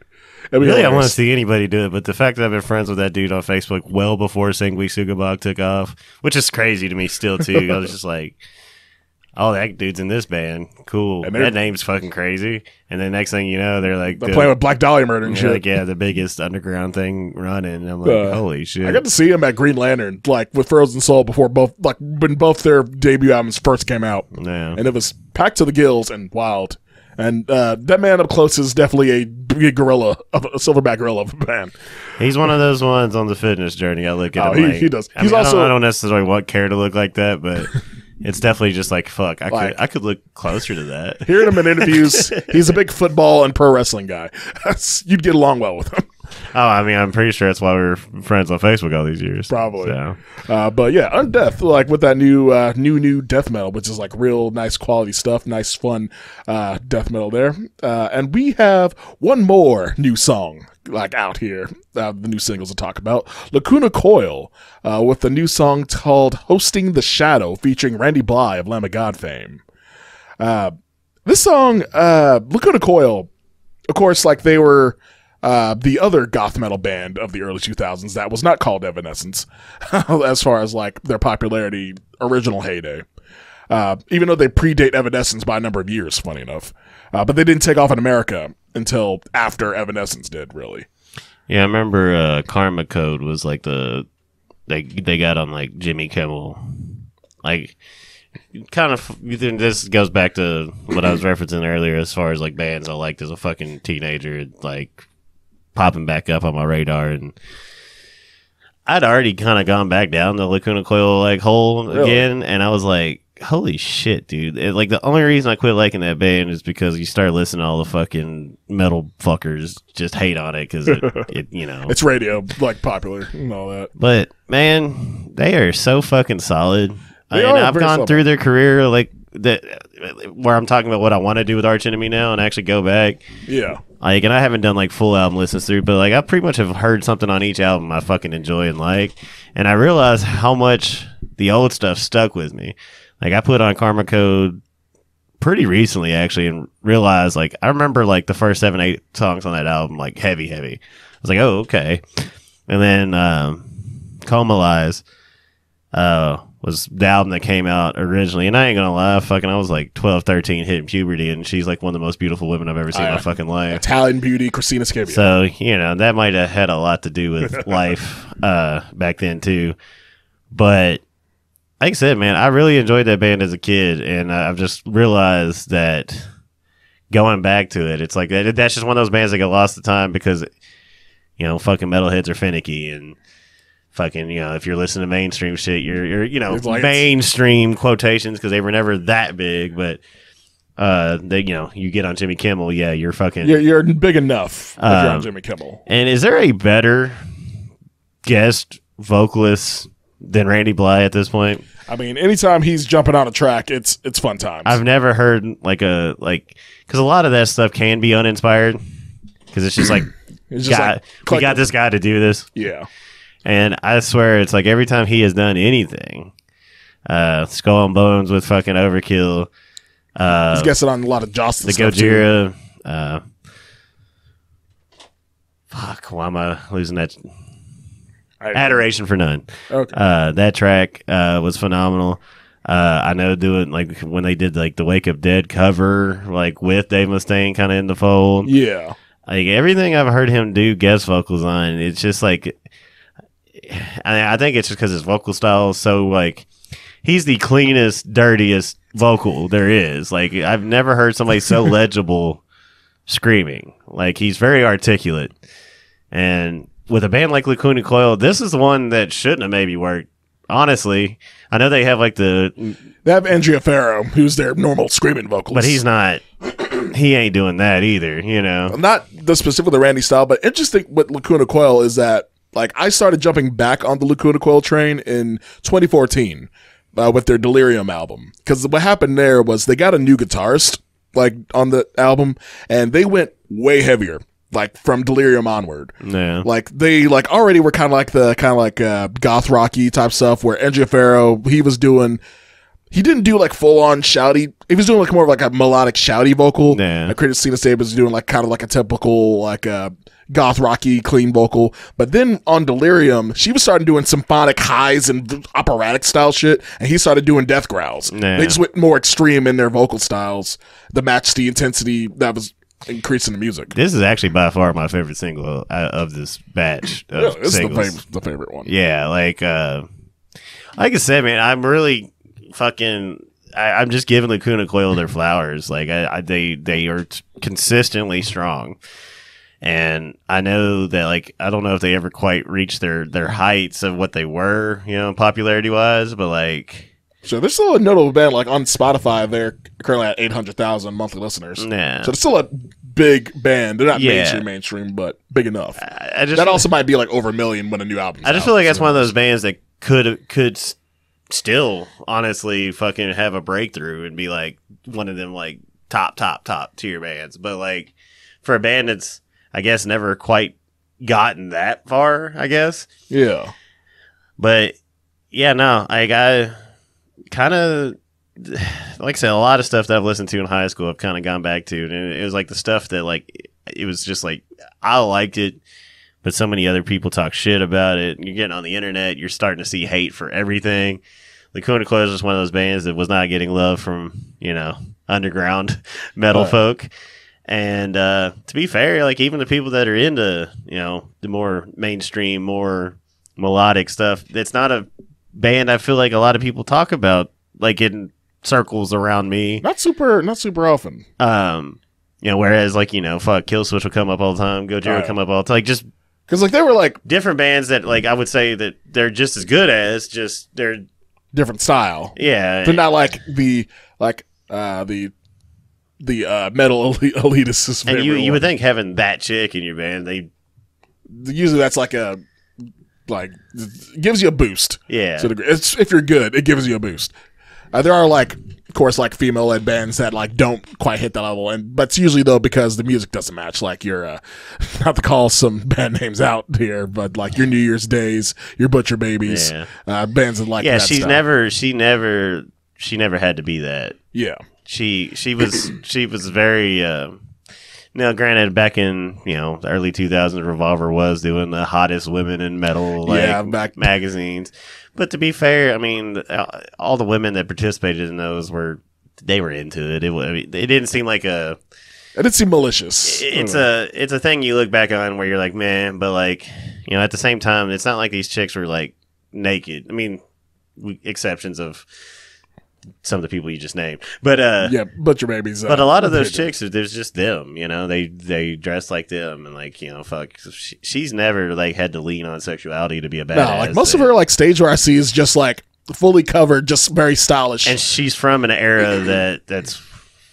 it was either yeah, one way or the other. Yeah. The thing is, like, I think some like this is still somewhat on topic. Where I'm thinking like the like a lot of like women vocalists in metal get a lot of flack for like getting accusations of using their sexuality to like try to sell records. But here, the thing though with that is like if you are a front, if you're a singer, if you're the front woman or front man of a band, you're supposed to be exuding charisma.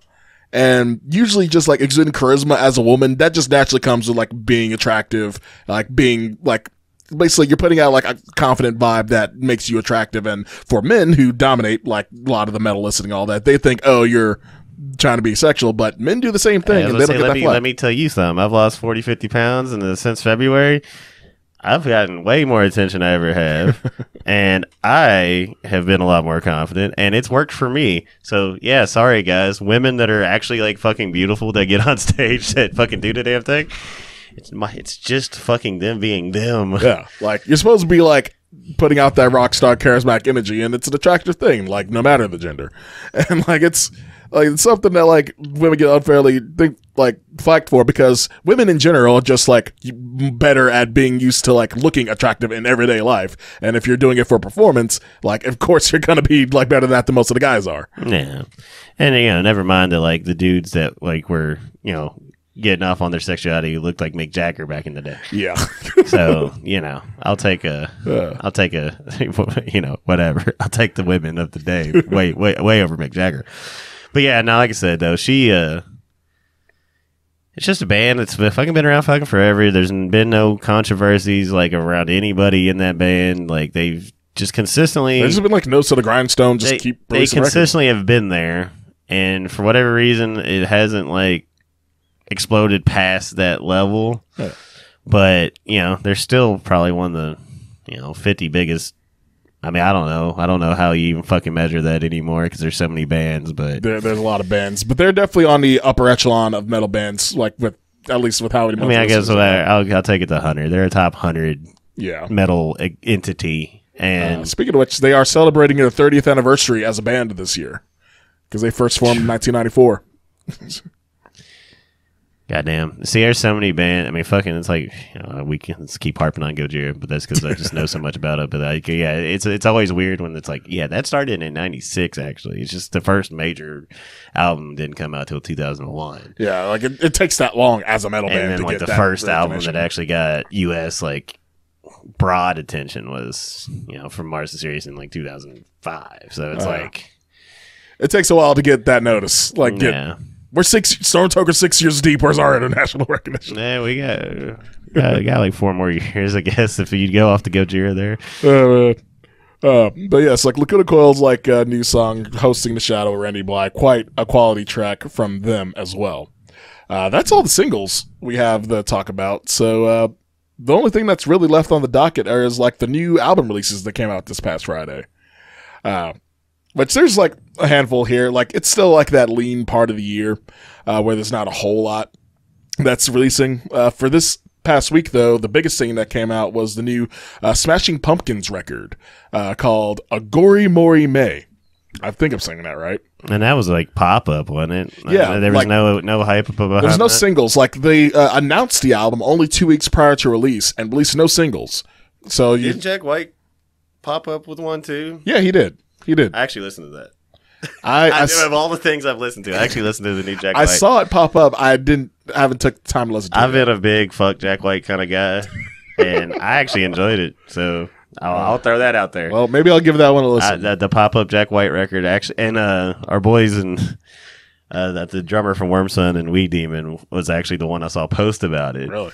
and I was at work and I was feeling my listening to all this new stuff energy and I saw it pop up and I was like, fuck it, let's check out this Jack White album. Because he had said it was like a little more guitar oriented. He actually said it was like some more just guitar oriented shit since like the white, you know, early White Stripe stuff. Nice. And I was like, all right, well, let me check it out. And I didn't find myself hating it. Like I say, usually Jack White pisses me off, and I don't know why. And maybe I'm just getting older, and I need to give that more of a chance. Given now. I haven't really liked Jack White since White Stripes era, unless he's doing ranking tours. So sorry, not to interrupt the show there, Yeah. but uh, that's something I listen to. Usually, when you name all these records, I'm like, uh, But speaking of being guitar forward, that's kind of like the big draw with this new Smashing Pumpkins record. It's their most guitar forward record in over a decade, really.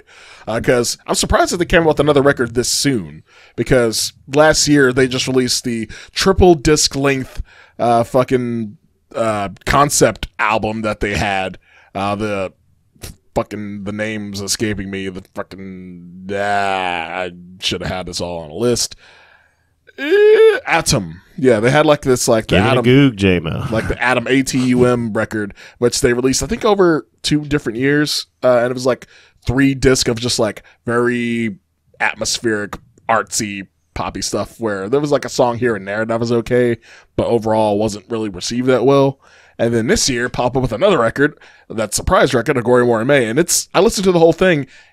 It's the best Pumpkins record in forever. Like I'm surprised he has time while he's running a fucking shitty wrestling company. yeah, he's like he's a freaking riding machine recently. Actually, I can't say shitty. I haven't watched NWA in a minute, but I remember I, I, I got on a spell with it and I kind of dug it, and then like everybody left.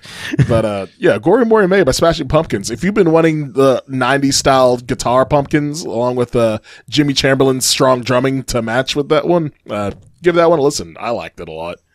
Uh, there's also Anberlin. You remember Anberlin? That band, that Christian band that had the feel good drag song back in the day. Remember that? I don't know shit about fuck, dude.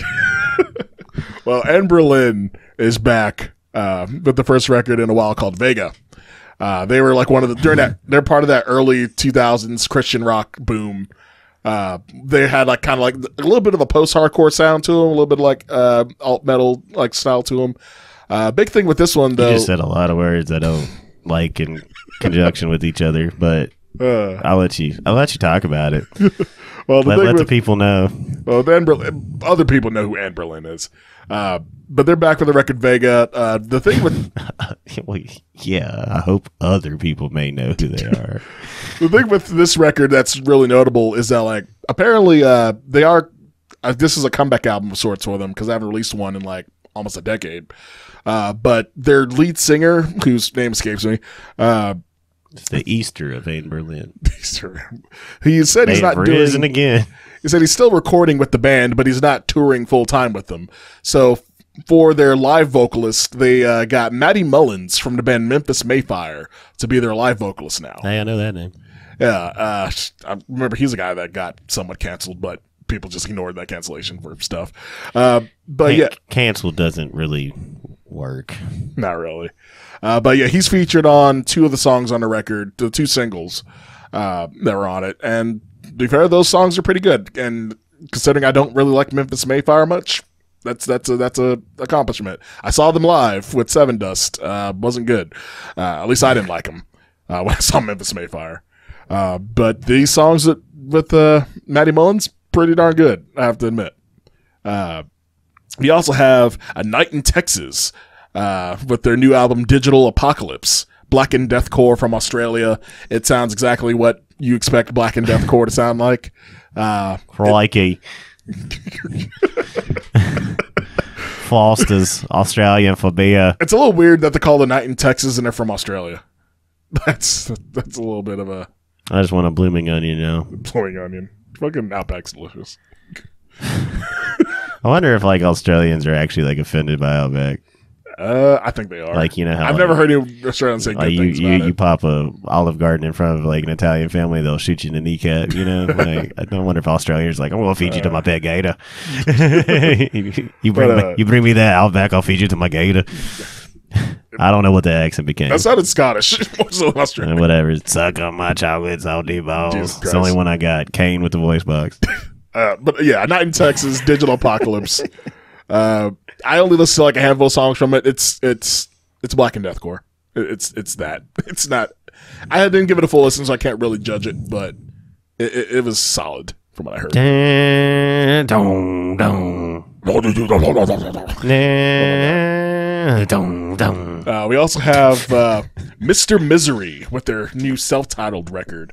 Um, they are a band that's on AFM Records. They are a Swedish melodic metal band uh, with a lot of uh, horror-themed theatrics to their style and sound. Uh, the vocalists, like, they're kind of an interesting mixture of sounds and styles that you would still hate, probably. Uh, their vocalists We're positive around here we're now, positive, right? All right. The part of them that you would like with Mr. Misery is that like the vocalist when he's doing his like raspy, more aggressive vocal, uh, and the instrumentation sounds a lot like Children of Bodom. Okay. Like they're they have that Swedish like kind of classically like guitar like melodethy sound uh, when they're doing that, but then the melodic side of them sounds like it's straight up emo. Like the, the it's the and their aesthetic. If you saw a picture of them, it's hot topic goth. You know what's funny about the that style of vocal, and you know, correct me if you think I'm wrong on this, but like the band we just played with in Nashville, Titans of Siren, kind of had that like vocal going on a little bit, A little bit. and but like, yeah, fuck these guys. um, I just showed him a picture of what they look like, and it's very Halloween hot topic aesthetic. But it's a it's another thing for me that as I've gotten older and I'm not getting bombarded with that voice all the time, I can find those voices and be like, all right, that ain't too bad. You can appreciate it just a little bit. Yeah, no, I'm uh I'm much more softer on my on my full amount of hate, but it, there's still plenty. He's getting softer and nicer in his old age. There's still plenty in there where I'm just like, God damn it. but like I said, they, the, the Titans of Siren dudes had that little twinge of it. Like I said, it wasn't heavy handed, but it, it when you have a band like that, goddamn, they were so crazy. they, they were they were very fun I would live. say, uh, Hanging off rafters, freaking jumping off stage and on stage. Way younger and energetic than we were. yeah, that was actually I should kick fucking Karma Vulture in the shins. It's like, well, all right, could you put them like after us, maybe? fucking hanging off balconies and shit. They're- they're pretty fucking wild. beer bonging through pool noodles and whatever. Shout out to Titans of Siren from uh were they from Nashville? Yeah, every band from the uh, shout out everybody on that particular Yeah, show. Karma Vulture, Omen Bringer. Shout out Daikaiju. We just had a really good weekend. Too. Daikaiju, they're fucking awesome. We just played with them this past Saturday at uh, here in Lexington. Fun times as always. Uh, they're they're a great band. If they're coming to your city and they tour so much, they most likely are. Uh, go see them. You will not regret it. Yeah, and just wear, wear flame retarded clothing, maybe. Yeah, maybe. They were getting a little. they were getting a little close. They were getting a little I saw like like I, like the drummer was like spraying the thing, and there was a guy walking past. And he almost walked in the stream. I was like, oh god, no. yeah, please, no, it please. was uh, I was like, please don't get banned. that was one of the craziest fucking shows I think I've played. As Oh. far as like I said, it looked like a bomb went off in Alice. It was wonderful. It was wild. Uh, yes, Mr. Misery. Yeah, now fuck Go- this band, dude. That's why. That's why I started talking about home. See, that's what I'm, I'm going to start doing. That every time you bring up somewhere, I'm like, man, fuck that. I'm just going to start talking about the homies a little bit. Well, here's a band that you may or may not like. Uh, a band called Asenblut. Uh, with their new album, Sounds like a cologne. uh, Int- Infeselt. Infes- I don't know what that means. It's in German. Uh, but they're uh, basically a German Amon Amarth worship band. Like, they're, they're straight up Viking metal. That sounds like the best thing or the worst thing. I'm not sure. Their music is good. Like, it is good, but it's like, if you know who Amon Amarth is, I would hope to fucking God anybody that fucking listens to this podcast would know who Amon Amarth is. but yeah. I might be giving too much credit, but goddamn. baby. Like they're, they're still very Europe. They're popular in America, but they're a very European style band. Uh, but yeah, this band essentially Amon Amarth and with German lyrics. Uh, which I just recently learned that there were German Vikings. That was something I was first. I was like, "Why are you Germans do, going so hard on the Viking thing?" And then I realized, oh, they're. I learned fr- apparently from Holger that there's German or Swiss German Vikings. Apparently, uh, I didn't know it was a thing. Uh, so like, Uh, Season of Witch put out an album recently too. it's phenomenal. Listen to that. Shout out to Uh, homies. Sorry. anyway, uh, Asenblut's new record, Infeselt. Uh, what I heard of it was pretty dope. They lean more black, me- black and melodic death metal than Amon Amarth does. That's their like other big thing that switches up a bit from them. Sorry. And finally, we have something that's not metal, something more on the uh, like the rock leaning stuff is Blues Pills. Uh, They're actually fucking tight. Yeah, Blues Pills with the new album Birthday. Uh, 70s inspired Swedish hard rock, psych rock band. Uh, I have a like female lead vocals, like they're uh, really quality rock band from like the songs I've heard of them.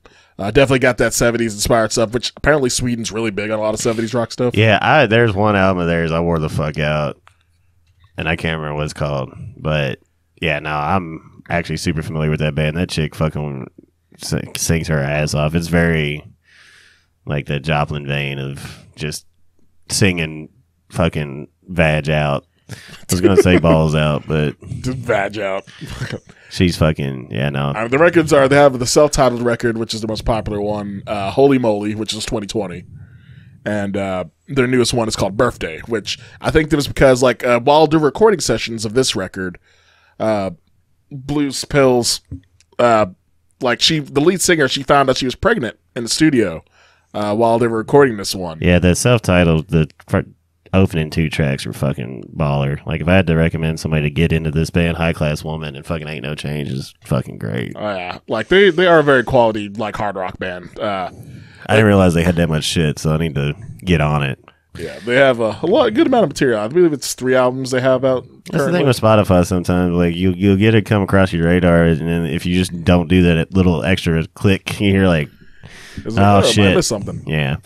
But yeah, no, I definitely, I definitely will check that out. Actually, Yes. there, like I said, that's one of my. Hey, something that you'll check out. Yeah, no, possibly. they're the shit. Uh, Wind Rider put out album not long. No, I'm just kidding. Uh, well, Wind Rider is actually the uh, show sponsor for this one. Oh well, there you go. Hey, Yeah. revival, baby. It's uh, it's, it's, Revival is coming out. Like I, it's gooder than fuck, my guy. I don't know where I'm gonna put the uh, the show sponsor in this. It's probably already played at this point in the podcast because I might put it somewhere in the middle. Uh, but yeah, Wind Rider. Uh, you probably already heard it. The song "Motorcycle Witches" on their album Revival on Electric Valley Records. I need to Uh, give it a few more listens, like to fully encompass it. But it's it's fucking quality. Yes, like shout out to the Wind Rider peeps from Tennessee. They are very quality quality band. Uh, we love those guys. I know. I just girl. commandeered this entire segment. It, it makes it more fun that way. like I'm more excited to do the album reads now, just so you can talk shit. This one. uh, it's fun. Uh, but yeah, that's all we have for you on this podcast this time. Uh, this is fun. Like yeah, see y'all in a year. Say what? What's it? See y'all in a Oh, year. I'll be back. Oh god, like yeah, it's like we, like we like the, trying to do the podcast like fully again. Uh, David might not be present for every episode, but but I'll, I'll be here, and please still listen to those episodes too. Biggest thing for me, I, I just don't want to come on and just fucking poo poo shit for an hour. Yes, I'm trying to like. and we were talking a lot about like Kiss and like shit, and it's just like Yeah, there was a whole stint of like every every like news story was about Kiss or Skid Row or and it's Motley Crue. yeah, and it's fun to talk a little bit of shit, but like when you're just yeah, like I don't know, I, I was just and plus like I I admire your brain to be able to soak in so many different new things. For me, like I just, it ends up becoming like a blur, It's str- it's a and mush. like I want to like I want to if I'm into something, I want to be fully into something, and I Oh, just, yeah. I just can't just be listening to a bunch of shit I don't like. You know, like I don't know that that was like that was like getting to because like I said, it was like the single segment was hard. yeah, I'd like to revisit the albums thing, but I think we should just fucking like try just just do the bands uh that we actually fucking you know oh, know, Oh, yeah. know we like. that's part of like why I like part of like with the By format. the way, with the Olympic thing, we might want to do that Gojira episode maybe a little soon. yeah, actually, you know that's Good time to maybe that'd be a good time to do it. Good time to maybe time to do the maybe, maybe, maybe we'll go ahead and get this rocking next week again. We'll Maybe. see. This would be a good time to I like thought about suggesting rank. that to you, but I was going to wait till we got on here and maybe tease it. So Yeah, that's yeah, that's it's an idea that works for me. Honestly, I need to do more full album listens of the classic uh, or the early Gojira records myself. Honestly, I really don't need to study. I just need to ponder. just need to ponder ponder the orb, Yeah, because ponder the whale. There's there's a lot there for me. So Oh yeah, like I need to do you like to do that because I like only jumped on the Gojira train from uh, really Magma onward. I did listen to L'Enfant Sauvage a lot, and that's where I first heard Gojira. But I really really got into him on Magma. From Mars to Sirius, baby, and then uh, I know this. I know the big songs from Mars and and Sirius, then course. uh, I literally because you know it wasn't just as easy as getting on the internet at the time. I'm pretty sure it still had dial up. Goddamn, Um, we're old enough for dial-up I went to CD Central and uh, got Terra Incognita shipped from France Oh, yeah. for like forty five dollars. I remember, you, yeah, like And, this is how big Gojira, like David, like Gojira before they were Olympic famous and cool, and Yeah. Grammy nominated and all that. I so- say I remember when From Mars to Sirius came out, they f- kind of like a few months later put the link out in the states, so I got that at a CD store too. But um, and like I said, it, it was weird. Actually, you know, funny enough, and you know, just because we're wrapping up here, I'll try to make this quick. the reason I got into the back into Godzilla movies was that I was reading the fucking little. It was like a single page blurb because like Revolver used to have just single page blurbs on like five or six bands, like in the, at the opening of the magazine. And it was like just like a one page interview, like three questions, four questions. But like in the corner, it was like a "Did you know?" It had a little picture of Godzilla, and it was talking about what that Gojira was, you know, The name, and that they were originally called Godzilla, this, that, and the other. And it just kind of sparked the interest to go back to those. And I think I probably rented fucking something from Blockbuster. Yeah, let's go way back, buddy. Oh, fucking blockbuster. So I think I rented some Godzilla movies from Blockbuster at the time, and Do fucking Gen Z kids know what a blockbuster is? eh. I mean, fuck them if they don't. Do we even know any? I know. I I have like three Gen Z friends. okay, Maybe So I fuck they're 'em. not on Facebook. That's that's the one weird thing I- about them. None of them are on Facebook anymore. Well, that's that's hilarious. But but yeah, so Gojira multi-layered uh, appreciation for me because, like I said, it pretty much reopened my little childhood imagination to giant monster movies again, and so All comes full circle. Back started with Gojira on the podcast, and with Gojira on the podcast. so yeah, uh, maybe we'll do that next weekend. We might do that. I have to get, but I mean, David doesn't have to re-listen to anything, but I have to get my listening like like headphones on and uh, not too hard. I I like Gojira's one of my favorite bands. I do like a lot of the material. I just need to do the full album listens of the earlier stuff. Uh, but yeah, that's something to look forward to. Bring back the podcast and like the album ranking too as well. And so that David can yell at me that like my favorite Gojira record. You're wrong. No. yeah. But uh, but yeah, now like I said, I figured figured at least get a couple in here, and you know, if I if I'm not around for a few, I'm not around for a few. But like I said, I definitely want to do it from time to time for sure. John, oh, John Bass podcast got me back on the podcast uh, world. And, Shout out to John Bass. and uh, comedian so check out that episode. Uh, Yeah, like so that was uh, shout out to his podcast. Like episode 42 of that. uh, maybe I, I don't know the name. I don't know. Long Just look for David's mug on the John Bass podcast. Yeah, I had a lot of fun doing that, and it kind of re-sparked my interest in wanting to go ahead and Got do the this itch again. going Yeah. again. So I'm done talking.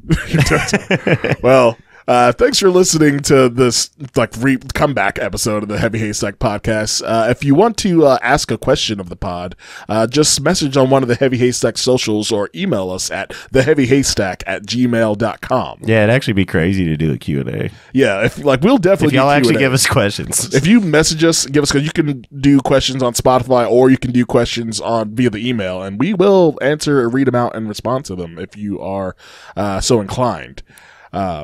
But make sure to follow us on like the YouTubes, uh, the Heavy Haystack, uh, the friggin' the Instagram at Heavy Haystack, and all that jazz. Like, and make sure to follow David's personal Instagram page, uh, Dr. David Dorito, as Storm well. Storm Toker official, Holler Doom. Storm Toker. Look up all those We have a lot of pages. We- We have a lot of hats. Yeah. Uh, but yeah, uh, thank you all for listening. Uh, hopefully, it won't be a year till the next uh, podcast episode comes out. but uh, that that's all I believe we have for this week. So peace, love, music, and we shall see you all next time. Sayonara. Did you just nut into the microphone? Jesus Christ.